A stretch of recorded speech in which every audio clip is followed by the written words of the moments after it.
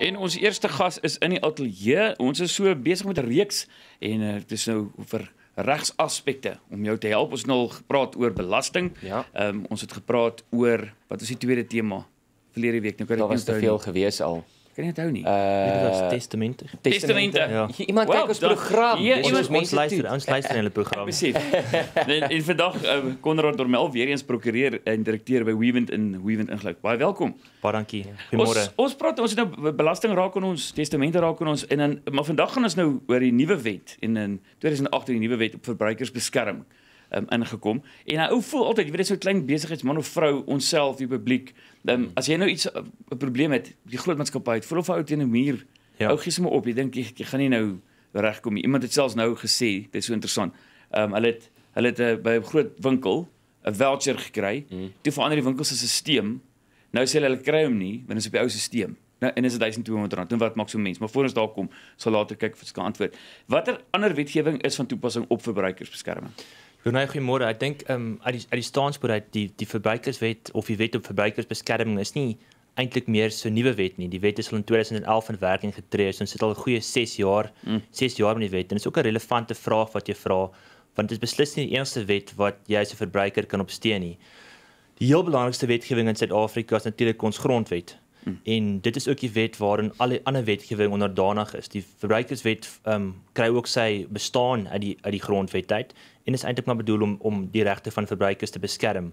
Maar die ander wetgewing wat van belang is en van en van toepassing verskeie situasies is bestaan eintlik maar uit 'n klomp akronieme uit. Ehm um, dit is POPI. Dit is ehm um, wat hulle praat van die buzzword op almal se lippe op die oomblik en POPI staan vir the Protection of Personal Information Act Okay. wat handel met hoe persoonlike inligting van jou versamel kan word en ook geproseseer kan word.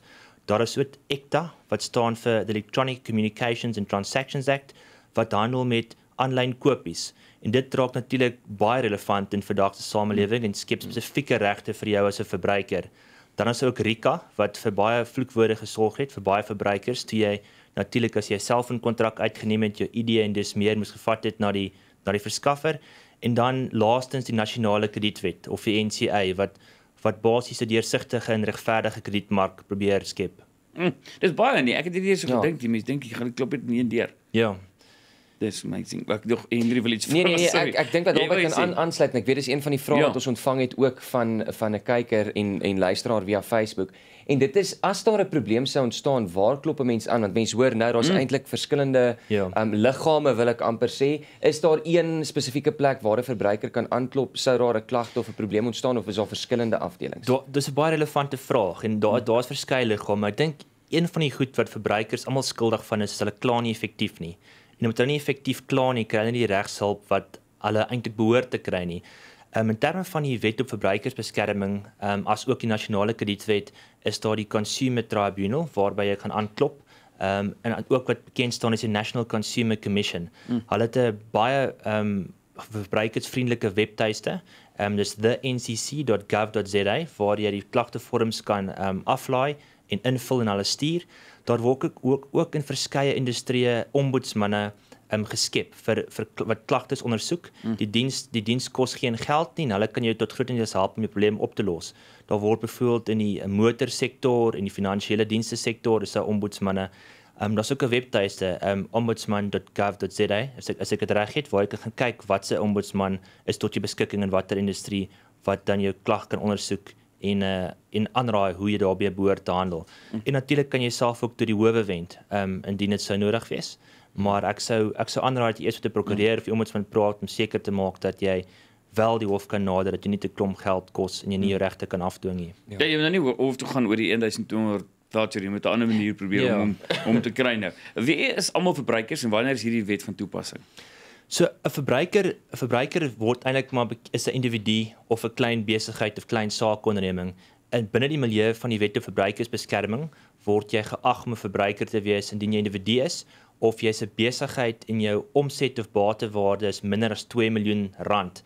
Maar dit is ook nie die enigste toets nie. Die verbruikers die wet op verbruikersbeskerming is nie in alle gevalle van toepassing nie.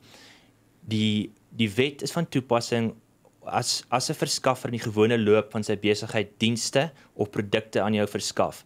En as ek dit dalk net kan verduidelik met 'n voorbeeld want dis iets wat ons baie meer gekonfronteer word elke dag. Indien jy byvoorbeeld jou nou jou, jou jou voertuig sou verkoop aan my en na 2 maande kom jy staan die engine, wil nie meer ry nie, wat dalk moontlik is. Kan ek nie kan ek nie myself op die verbruikerswet verleen en sê dat ek 'n een van 'n eis teen jou het nie. Die toets is egter baie anders as ek my voertuig sou koop by 'n motorhandelaar. Hmm. En die eenvoudige rede daarvoor is is dat die verkoop van voertuie van nie binne die gewone loop van jou besigheid nie, waar in die geval van 'n motorhandelaar doen dit wel. Hmm. So dit is ook belangrik om om, om onderskeid te tref wanneer dit wel van toepassing is al al dan nie. En die tweede toets natuurlik is ek of, of ek 'n individu is of 'n groot maatskappy is ten einde vasstel of die verbruikers wet of verbruikersbeskerming wel van toepassing is. So as jy daai woord gesê het voetstoot, dan weet jy jy kan nou nie terugkom met daai met daai kar nie. Nee, dit is die die voetstootklausule is, is waarskynlik een van die kontensieusste ehm um, die mees kontensieuse goed wat wat wat, wat nou in die in die, in die wet of verbruikersbeskerming milieu hmm. van toepassing is daar's 'n daar moet 'n baie belangrike onderskeid getref word teen latente gebreke en patente gebreke. Nou wat dit in eenvoudige Afrikaans beteken is patente gebreke is hierdie goed wat jy kan sien. Mm. As jy byvoorbeeld 'n eiendom sou koop en die huis se mure is pink of blou of pers en jy hou nie daarvan nie, kan jy nie later die verkoper mm. gaan dagvaar en, en sê dit is nie dis nie na wense nie. As jy byvoorbeeld 'n eiendom sou koop en na 2 of 3 maande breek hy enorme reënstorm uit en die water loop deur die plafon, is dit 'n latente gebrek. Dit is nie dit voor die tyd sien nie. Dis ongelooflik. En ja. Wow. Da da mag dalk 'n voetstootsklausule bestaan in die ooreenkoms, maar jy kan jouself ongelukkig nie indemnifiseer teen latente gebreke nie. En daar's 'n verbruiker sal jy altyd 'n reg hê om 'n sekere remedie te kan uitoefen. Mm, ek hou van daai nie. Nee, ek leer baie. Ja. Ons gesels verder so van sport uh na wetlike aspekte. Uh, Konrad Dormel, prokureur en direkteur by Wewind in Wewind ingelyf. Um, ons praat nou oor die verbruikerswet. Dis 'n paar mense wat ook al vir ons uh, vrae gestuur het, maar die CPA, um, hoe het ons regte radikaal verander? Ek dink die, vir diegene wat dalk 'n beoog om 'n regsgraad te gaan opdoen by 'n universiteit sal leer van die reël sogenaamd caveat subscriptor. Wat dit eintlik beteken is dit dat in Suid-Afrika het jy vryheid om te kontrakteer en enige kontraktuele terme ooreen te kom mits dit nie onwettig of immoreel is nie. Mm. Nou die wet op verbruikersbeskerming het dit bietjie verander. Ehm um, dit is ongelukkig so dat groot maatskappye en groot bes besighede is nie noodwendig op dieselfde voet en selfde onderhandelingsvlak as wat jy as 'n klein individu is nie. Wat die verbruikerswet in wese doen is om daai entiteite te verplig om kontraktuele terme wat regverdig en billig billik is te vervat in in, in hulle ooreenkomste. In ander woorde, nie teenstaande wat in 'n ooreenkoms staan of terme en voorwaardes wat in 'n en, enige soort dokument wat jy mag aangaan bevat word nie, hmm. is jy nog steeds is nog steeds geregtig om sekere regte uit te oefen indien verskaffers nie doen wat dit is wat hulle moet doen in gevolge ehm um, die wet op verbruikersbeskerming nie. Hm. En nou nou prakties as ek nou iets koop of 'n diens verkry, wat beteken dit prakties vir my? Ek dink ek het 'n klomp ek het 'n klomp verskillende wetgewing genoem in die begin van ons gesprek. Ehm um, ek 'n mens moet onderskei tref wat is dit wat jy gekoop het, wat is die dienste, is die wet van toepassing al dan nie, maar wat dit prakties vir jou beteken is is dat indien jy iets koop of dit nou 'n diens of 'n produk is, is jy geregtig om 'n diens of 'n produk te ontvang wat van 'n hoë gehalte is en redelik geskik is vir dit wat jy dit wil gebruik. Indien dit blyk nie die geval te wees nie, het jy sekere regte teenoor die verskaffer. Byvoorbeeld om daai goedere terug te stuur, om aan te dring op terugbetaling van jou van jou geld of indien jy iets voor die tyd betaal het om daai diens te kanselleer. Byvoorbeeld indien jy dalk vooruitbetaal het vir 'n vir 'n vakansie um iets wat baie verbruikers byvoorbeeld nie weet nie, is hulle hulle maak hulle sou vooruit betaal vir 'n vakansie 'n jaar voor die tyd of wat ook al die mm. geval mag wees en dink hulle is dan gebonde daaraan. Jy is heeltemal geregtig om dit te kanselleer, maar mense moet ook verstaan dat indien jy dit sou kanselleer, is die verskaffer van daai produk of diens geregtig om 'n kansellasie fooi te te vra behalwe as jy die eienaarskap se kanselleer as gevolg van afsterwe of in hospitaal opgeneem word, wow. dan sê jy geregtig wees om al jou geld terug te ontvang. Jy sien dit is iets kleins wat ou nie weet belangrik, nie. Ja. Nee, want ja, maar dit gebeur so maklik as jy ja. siek. En ek sou dit nooit geweet het. Ek het net gedink ek gaan met 'n positief verloor of wat ook al. Jy sal kommissie vra op al die geld wat jy gaan spaar. Ja, asseblief vir ja. daai raad. Nee, ek ek dink ek gaan jou nommer ook soos ehm um, gee nou net 'n WhatsApp. Belangrike Nou, ons het groot geword as jy in 'n winkel instap, was daar so 'n bordjie if you break you take. Ja. Yeah. Nou die naweek as ek en my ou skoolvriend in 'n winkel hier in Pretoria wat baie vol winkel, maar een van daai winkels as jy iets gaan afstamp, Hy hy, hy kan so klein as dit kos hy 20000 rand. So ons kan nie met mekaar praat nie want ons het ons maage ingetrek. So sê ja. draai Jy so bang jy stamp iets af. Wat gebeur as ek nou daai ding afstamp en 20000 rand se fase breek? Ons ken almal daai bordjies, né? Lovely to look at, lovely to hold, but if you break it, consider it sold. Jy's al daai ehm weet ongelukkig vir die winkeleienaar is dit nie heeltemal so eenvoudig nie. Ehm 'n mens wil nie graag ehm spesifieke bepalinge in die wet aanhaal nie, maar ek dink vir hierdie ene gaan ek dit dalk doen en dalk kan die luisteraars dit neerskryf. Dis artikel 18 van die Wet op Verbruikersbeskerming wat spesifiek Boepens, boepens beskerming. boepingsbeskerming ja. Artikel 18. Art- Artikel 18 van die wet bepaal spesifiek nie teenstaande enige ander ooreenkoms of enige ander kennisgewing wat wat daar in 'n winkel mag wees nie indien ehm, 'n um, verskaffer skade mag ly as gevolg van enigiets wat jy mag doen byvoorbeeld um iets omstamp in die winkel en breek is jy slegs aanspreeklik daarvoor indien jy grof nalatig roekeloos of strafregtelike manier um opgetree het. In ander woorde, as jy dit per ongeluk opges omgestamp het, kan jy gaan jy glad nie aanspreeklik wees daarvoor nie. Mm. En dit sal vir die verskaffer wees om te bewys dat jy op 'n grof nalatige manier um opgetree het. Dit moet ook saam gelees word dat jy as 'n as 'n verbruiker het die reg om goedere te inspekteer alvorens jy dit koop. Mm. So die feit dat jy dit opgetel het en daarna gekyk het, beteken nie noodwendig jy het op 'n nalatige manier opgetel nie. Mm. As jy dalk in 'n dierjuwelierswinkels um goed rondpas dalk nie so springbokke gedoen het nie, maar soos mm. dalk so die All Blacks gedoen het en jy laat val laat val die bal, dan kan jy natuurlik aanspreeklik daarvoor gehou yes. word. As hy nou vir gesê, "Hey, kyk hierdie fase" en dan gooi hom vir my in die rakke. Dit dan moet jy dalk nou nie doen nie. Mense nou nie dit. En ek dink ook nie jy mag byvoorbeeld daai bottel knak en begin drink of proe of dit goeie kwaliteit is nie. Dis ook Daai is ook belangrik Maar dis nie net my gunsteling goed om te doen is om die koeldrankie halfpad te drink. En as ek by die til kom sit hom net so en weet jy daai is net so 'n oomblik van Reaksie van ja, wat is wat is jou charge? Iemand vra uh, of hierdie wet in terme van waar is hy nou was dokters ehm um, ook onder beskermingswet is. Hoe werk dit as dit medies is? Ja, dit dit sou, dit sal dit sal binne 'n diens val. Daar's daar's daar's 'n paar uitsluitings in die Wet op Verbruikersbeskerming. Ehm um, die die uitsluiting is natuurlik wanneer jy nie 'n verbruiker is nie. Ons het vroeër gepraat oor wat die toets vir 'n verbruiker is. Hmm. Indien jy buite daai wet sou val, dan sou dit nie van toepassing wees nie, maar dit is eintlik op alle dienste en goedere van toepassing behalwe dienste wat gereguleer word onder andere deur die nasionale kredietwet asook dienste wat gelewer word deur um, sekere staats staatsinstansies. Mm. Maar daar's baie baie min besighede wat nie binne die omvang van die wet val nie. Mm. Dan uh, so met 'n voorbeeld, uh, jy weet vooraf betaal elektrisiteit.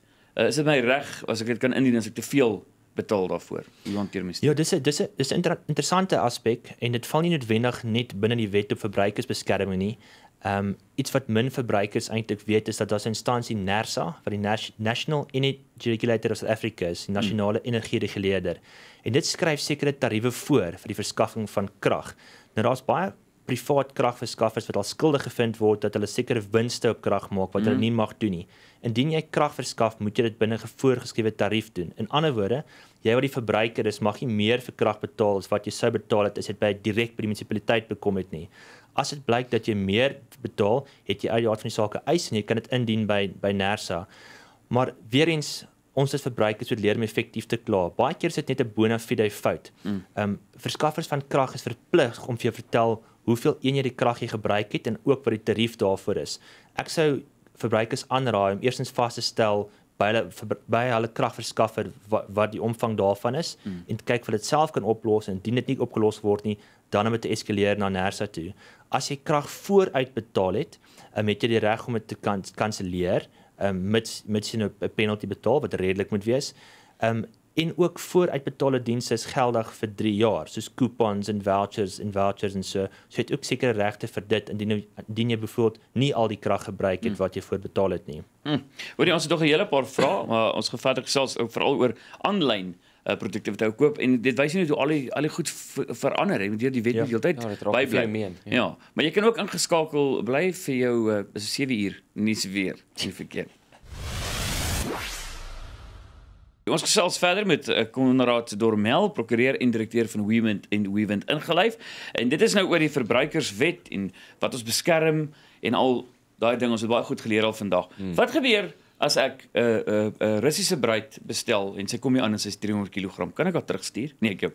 Ehm aanlyn, ons praat maak 'n grapjie oor aanlyn. Jy weet maar ehm um, jy weet dis dis heeltemal iets anderster en dan so jy koop vir jou skoene is te klein. Ek weet by ons ry dit om, maar as daar nou probleme kom by dit. Maak Ja. dit bietjie moeilik. Ehm um, jy sê dalk jouself herinner dat heel in die heel in die begin van die program het gesê daar's verskillende wetgewing wat handel met verbruikersregte en een van daai een van daai stukke wetgewing is die sogenaamde ECTA wet, Electronic Communications and Transactions Act, wat spesifiek handel met goedere en dienste wat jy aanlyn koop. Indien jy ehm um, byvoorbeeld iets koop wat ook al dit mag wees aanlyn, ehm um, byvoorbeeld 'n modelkar en dit arriveer en dis nie na wens nie, of wat jy gedagte gehad het is nie, het jy die reg om binne 7 dae daai ooreenkoms te kanselleer en die goedere terug te stuur vir die of dalk moet ek eintlik dalk moet ek onderskeid tref. Mense ehm um, onderskeid tref tussen goedere wat jy kry en wat jy net wil terugstuur, wat jy geregtig is om te doen in gevolge hmm. die ECTA. En dit moet jy doen binne 7 dae.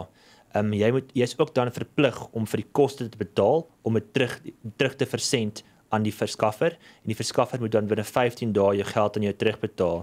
Indien jy goedere ontvang en die goedere is nie geskik vir die doel wat wat jy aan die verskaffer vertel het waarvoor dit bedoel is nie, dan is die periode baie langer. Dan het jy 6 maande om daai goedere terug te stuur aan die verskaffer. Hmm. Wat eintlik 'n relatiewe hoë onus op die verskaffer plaas want mense kan dink dit maak dit relatief moeilik. Sure maar dit is hoekom dit so belangrik is vir besigheidsondernemings om seker te maak dat hulle terme en voorwaarde korrek is en indien hulle iets adverteer vir 'n spesifieke doel dat dit wel daai doel kan nakom. Hmm. So ja, jy het jy het 'n wet wat spesifiek handel met aanlyn kopies en vir jou spesifieke regte daarvoor skep.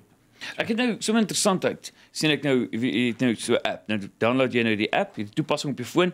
Ehm um, en dit lyk verniet en dan ewe skielik sê jy ek 7 dae is dit verniet en van daar af gaan is dit R400. Nee, nou weet jy nie of jy moet klik nie. Ja. Nou wel, hoe is dit het jy nou klaar dit aanvaar? Jy weet as ja. so iets ook gebeur, jy weet dit maak dit bietjie ingewikkeld. Maar jy kan selfs help jy jou, jou regte daar. Ja, dit dit dit, dit maak dit ingewikkeld. Mm. Ehm mm. um, daar's ook daar's ook die die wet op verbruikersbeskerming het daarin gedink ook. Daar's daar's 'n spesifieke artikel, artikel 49 wat ehm um, verskaffers van produkte wat insluit 'n uh, 'n toepassing, soos ek verstaan die woord nou is, mense praat nie meer van apps nie. Ehm um, ehm um, sê indien ons sekere goed moet aan die verbruiker uitgewys word alvorens hy die aktiwiteit aangaan of die hmm. produk koop of die of die diens koop. Nou een van daai is is dat 'n risiko wat die redelike verbruiker nie sou van geweet het hmm. nie of 'n uh, ehm um, byvoorbeeld 'n vrywaring wat hy vir die verskaffer moet gee. Hmm. In ander woorde, as daar 'n toepassing ehm um, geadverteer word aan my en ek dink dit is verniet, maar dit blyk dat ek eintlik daarvoor betaal moet word, behoort daai aan my uitgewys te word alvorens dit dit aangaan dat ek 'n ingeligte besluit kan maak of ek dit wil aangaan ander nie. Hmm. As dit nie aan jou uitgewys word nie, sal jy reg hê om te kanselleer en indien 'n betaling is om jou betaling terug te eis of om die aangeleentheid aan te gee by die ombudsman of by die verbruikerstribunaal wat dan 'n dienooreenkomstige beslissing daaroor sal maak. Hmm. Hier is 'n hele paar vrae, die laaste ene, maar ek dink hulle gaan jou moet kontak. Ehm um, ek kyk net my kop vas, dis sê hulle wil lees daar, Hendri. Tel ehm, die um, dan die wet van 'n uh, koekbakster. As die kliënt die koek 100% by jou ontvang en die koek beskadig met vervoer, mag die kliënt dan al geld terug Dis so moeilik. Ja, ek het eh, ehm toe ek net vanoggend dink aan vrae wat gevra word, ek het nie gedink beskadigde koek is een van die vrae wat sou opduik nie. Ja. Maar ehm um, dis interessant hier, né? Mense moet gaan 'n mens moet weer maar prakties daar gaan dink. Ja. Eerstens is die vraag is jy 'n verbruiker al dan nie? Kom ons aanvaar jy is 'n individu of jy's 'n klein saakonderneming wat die koek gekoop het en jou omset hmm. is onder 2 miljoen rand, dan is jy 'n verbruiker. Die tweede vraag is is dat die tannie koekbakster is die koekbak en verskaffing van koeke binne die gewone loop van haar besigheid. So kom ons aanvaar sy's 'n tuisnywer dit. Ja. En die antwoord is ja. Dan sal die verwet op verbruikersbeskerming wel van toepassing wees. Jy is dan natuurlik geregtig op goedere wat waarskynlik 'n koek insluit mm. wat van 'n hoë gehalte is en geskik is vir dit wat jy dit wil, wil, wil gebruik. Nou, as die koek aan jou afgelewer is en hy hy's heeltemal reg en korrek en na wense en jy beskadig dan die koek op 'n later stadium, sal jy uit die aard van die saak nee eis sê nie. ja, As die koekbakster die koek aan jou afgelewer het en hy is beskadig, dan sien natuurlik 'n eis sê teen tannie koekbakster want jy's geregtig om 'n koek te ontvang soos wat dit is wat jy bestel het en indien dit nie so is nie, kan jy natuurlik jou geld terugeis.